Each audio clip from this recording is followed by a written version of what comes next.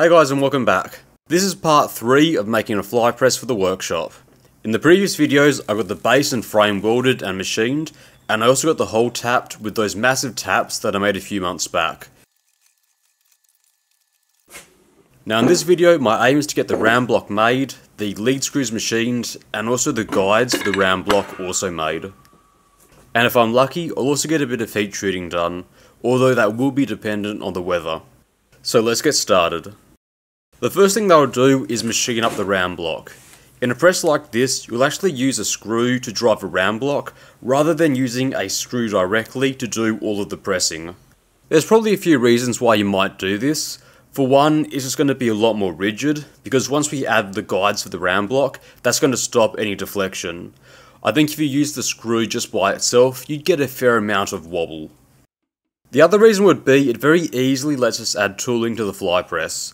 You don't actually use the ram block on parts directly, instead you add tooling to the bottom of it. Now like many other parts of the project, my ram block is going to be a slightly different shape to most conventional ones, mostly just to make it a lot easier for me to make in this workshop, but we will get around to that later. The first thing we need to do though is do a bit of machining to it. Now the first thing I will do is machine down a bore with a step down. And because I don't have a 4 jaw chuck for the lathe that I have, this will need to be done on the milling machine with a boring head. Now the reason for the machining on this end is this end will take the lead screw and a retaining split ring will make the lead screw captive. That'll make it so the lead screw can pull the ram block upwards.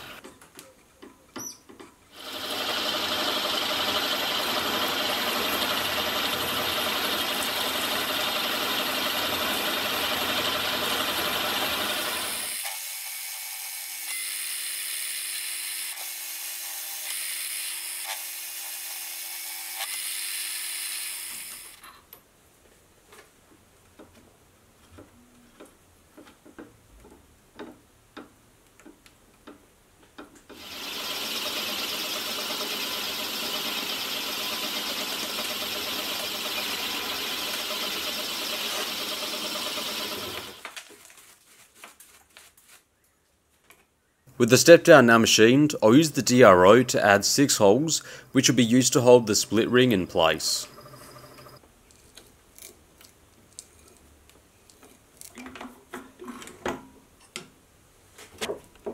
With the top side now machined, I can now flip the block and bore out a hole on the bottom. This will accept all of the tooling,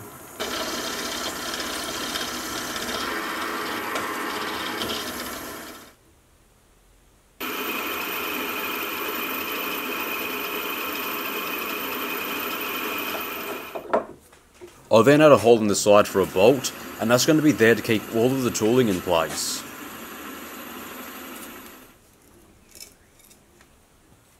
And that's the ram block done for the moment. The next thing I need to do is make the split ring, and because I don't have any round bar large enough, I'll simply make it from an offcut of plate. Now again, because I don't have a 4 jaw, I'll simply bore out the hole and do all of the drilling on the milling machine before I move it over to the lathe.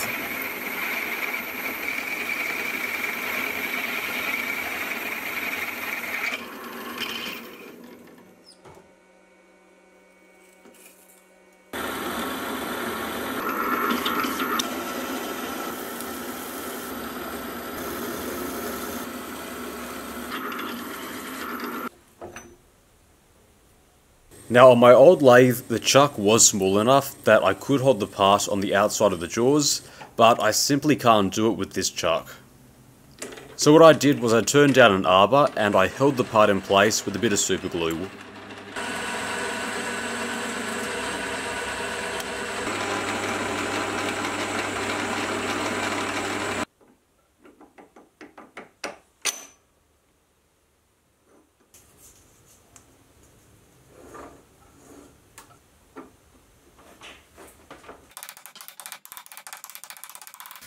You can't do any aggressive cutting, but it does tend to work if you keep the cuts light and you keep the part cool.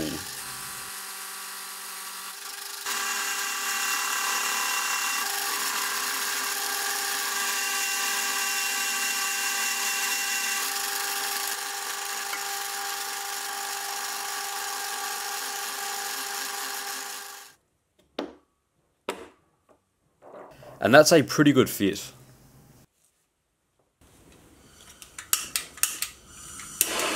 Bit of heat is enough to simply soften the glue and then push out the arbor.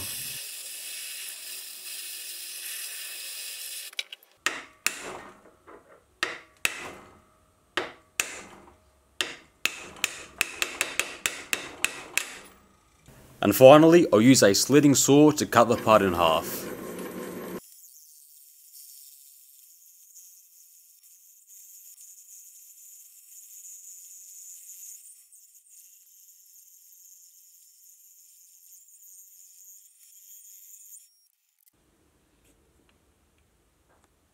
With the split ring and ram block now made, we can now start to make the lead screw.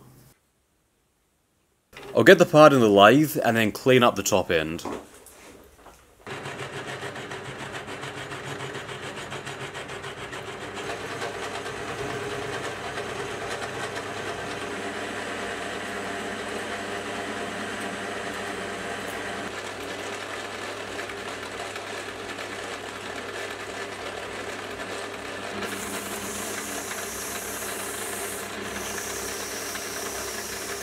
I'll then go ahead and turn two separate rings along the part.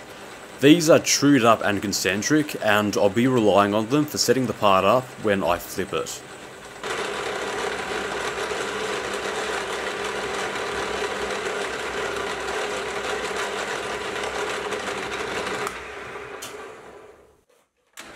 I'll then get an M12 hole drilled and tapped, and this will be to keep the handle in place.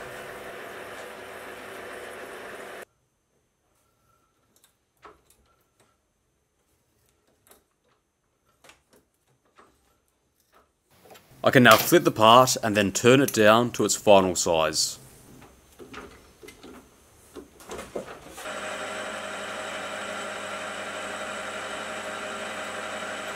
And a bit of coolant keeps the temperatures down and leaves us with a really nice surface finish.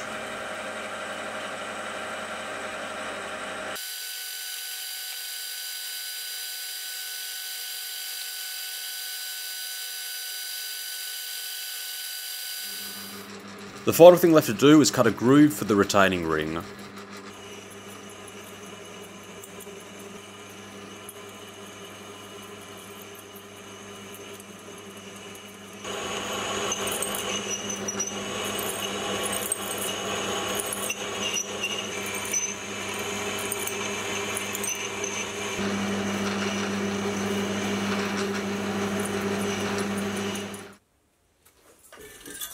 With all that done, I can now get it set up in the helical milling attachment and get the threads cut. Now the first problem that I did run into with all of this setup is that the part is actually way too long for the milling machine. Once you account for the dividing head, the chuck and the screw, the tailstock actually had to be pushed off at the end. I didn't really have much of an alternative around this, so I actually had to leave it like this for the whole time I was milling. The second problem I'm facing is I'm out of travel on the mill table. I can't mill out the ends and add threads to it. So I won't be able to screw it into the press, at least with it set up like this anyway. Again, I don't have any alternatives, so I am going to have to address that at a later point. Nothing else left to do but get started. Now helical milling, like I've said in the past, is not a particularly fast method of producing screws, but it does work. And all it is is just gearing, gearing the lead screw to the dividing head to make the dividing head move with the table.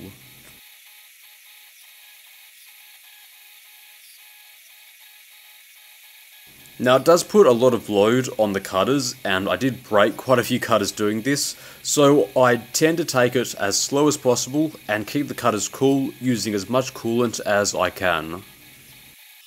You do have to be pretty careful that the part doesn't slip in the chuck, which it did once on me, and once you commit to doing a cut, you have to follow it to the very end.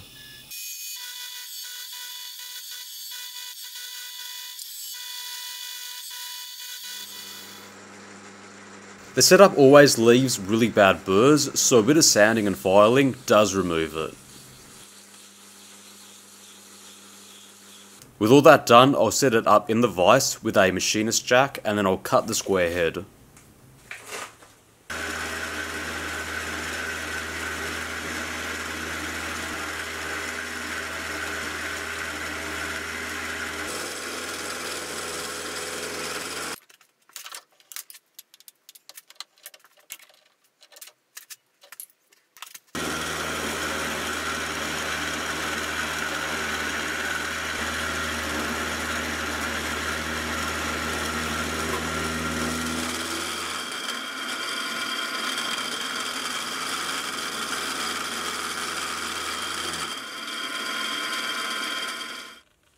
And that is the lead screw done.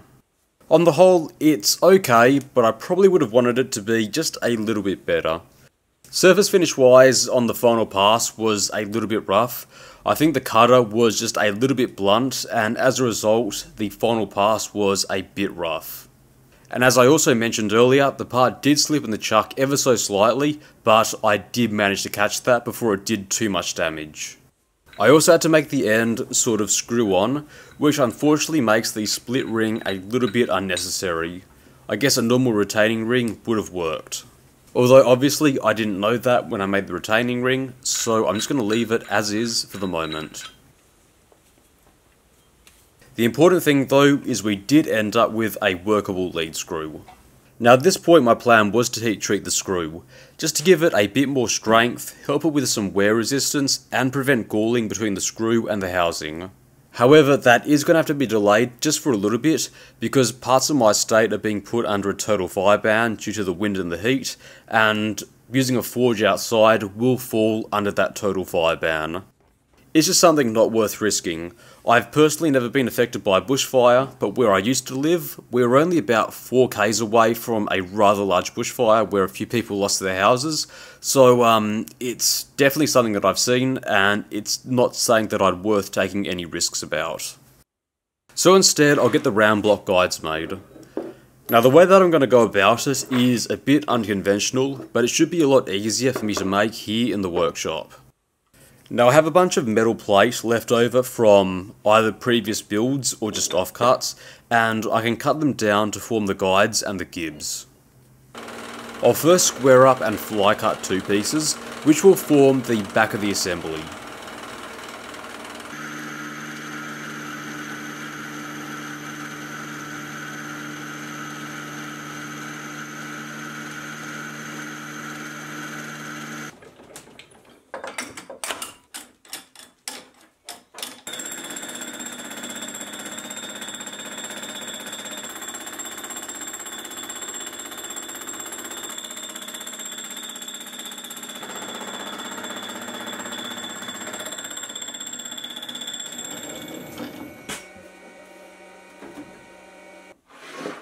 As you can probably see, this smaller piece here has two holes that's left over from an old project. Not necessary, but I decided to go ahead and plug them up.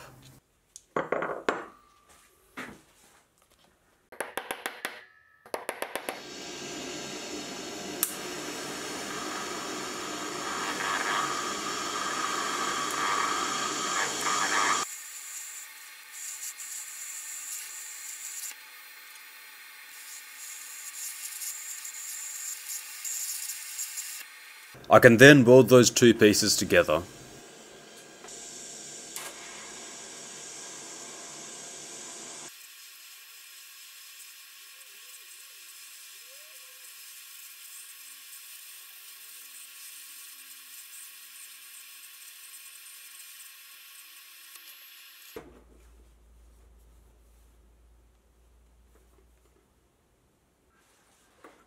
And that is how the two pieces will sit up against the frame with the ram block pushed up against them. I can then take it to final dimension. Next will come the drilling, and I mean a lot of drilling. Each side will get 5 holes for M8 bolts which will hold the side plates in place. The centre then gets six 10mm holes which were used for bolting the plate to the frame. Now to save me the trouble of having to use the boring head to counterbore each of those holes, I used an 18mm end mill to counterbore them. It's a little bit big for M10 screws, but it gets the job done.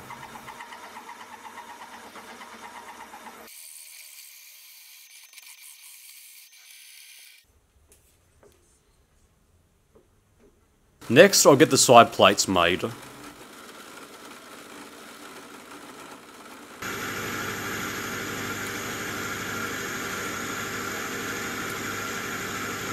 Now the side plates will get 5 holes on the back for holding them in place, and they'll also get 3 holes at the front for the gib plates.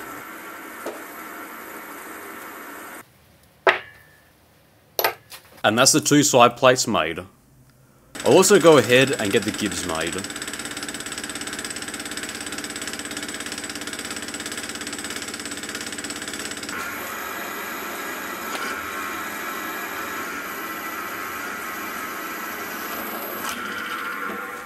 And they turned out looking great.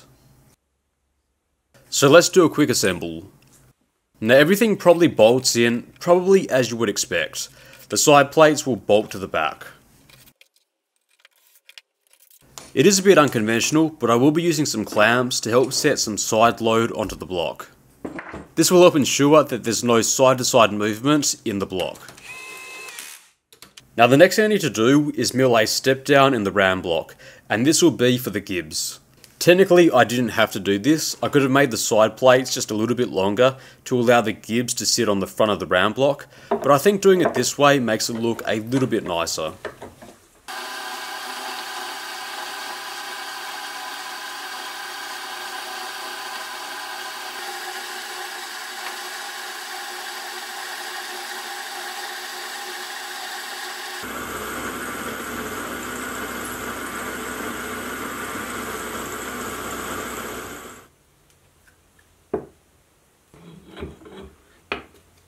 And the gibs will sit pretty much flush on the ram block and prevent any forwards or backwards movement.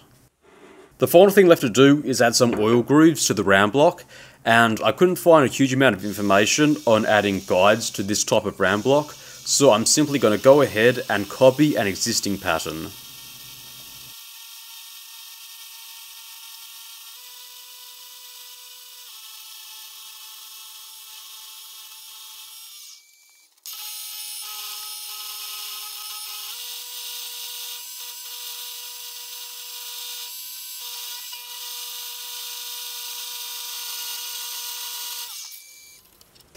Now in hindsight, I probably made them a little bit too deep for the type of oil that I'm using here, but they do seem to trap oil and it does help move it. Nothing else left to do at this point, but see if it all works. I'll first get the guide plate screwed in onto the frame, and that'll be followed by the lead screw.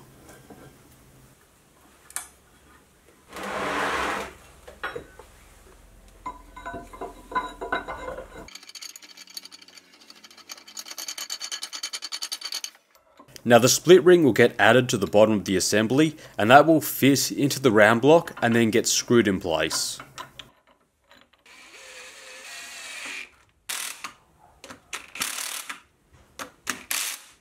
Finally, I'll bolt the gibs in place.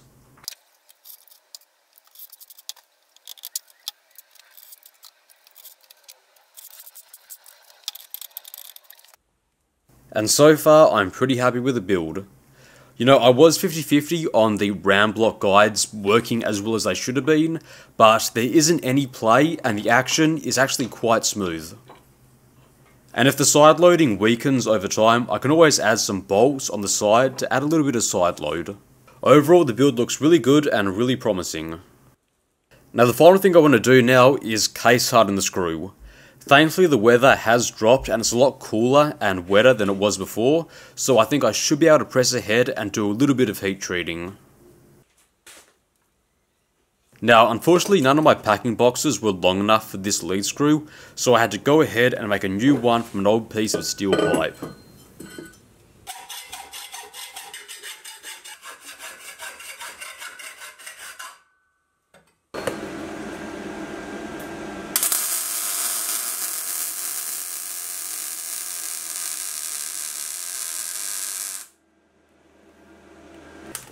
Now the lead screw goes in the box, followed by a tight packing of crushed charcoal and 5% sodium carbonate, and then it gets sealed off with some clay.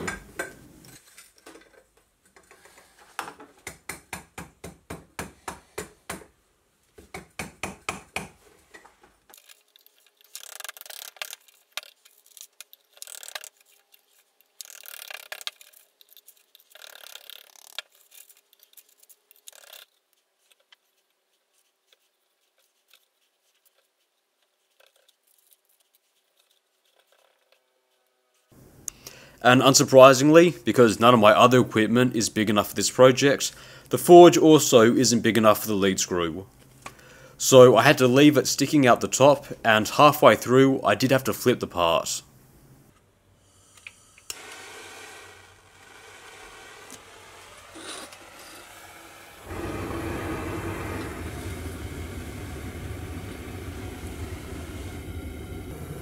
Now I gave the lead screw several hours in the furnace, and in doing so, it should get a thin casing of high carbon steel.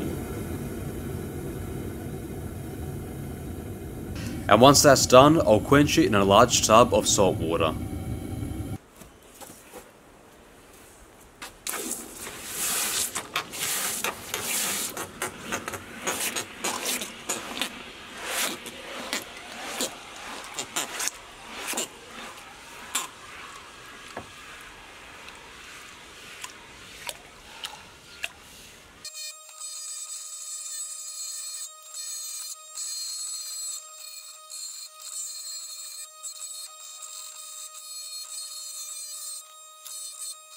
The resulting lead screw is easily 65 Rockwell C in hardness, which I'll then have to temper back to a low 50 or a high 40. And also to my surprise, the packing box actually melted and partially welded to the top of the screw. I didn't think temperatures got that hot in this furnace, but there you go. In fairness though, it was very thin steel and I was only expecting to use it once. And that, ladies and gentlemen, is about it for this week. In the next video, I hope to finish this project and see if it works. Until then, stay safe, see you next week.